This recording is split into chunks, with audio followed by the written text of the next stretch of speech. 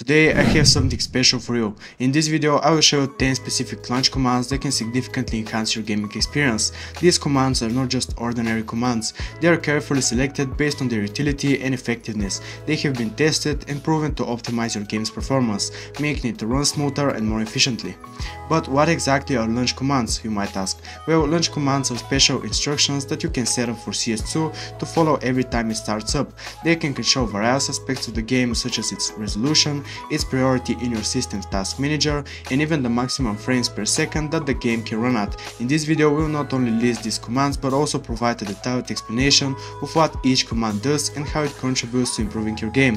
Whether you are a seasoned player looking to gain an edge over your opponents or a newbie trying to get the best possible gaming experience, these commands are sure going to be a great help. So without further ado, let's get started. The first command we got is plus fps underscore max 0. This command removes the default FPS cap in CS2. By setting it to 0, you are allowing the game to run at the highest possible FPS your system can handle. Higher FPS can result in smoother gameplay. No vid, this command skips the game's intro video when you launch CS2. This can reduce the time it takes to start the game tick rate 128. This command sets the game's tick rate to 128. The tick rate is the frequency with which the game updates.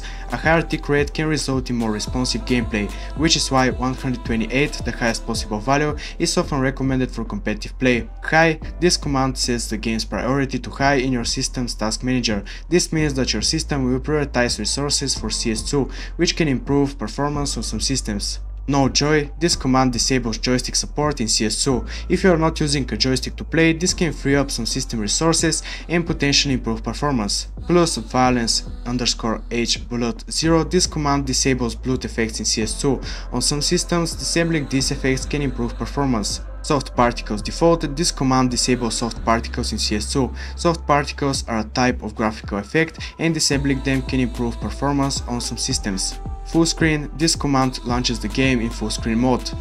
Allow underscore third underscore party underscore software. This command allows third party software to interact with the game. And finally, plus CL underscore force preload 1. This command forces the game to load all assets on map load, which can reduce stuttering during gameplay.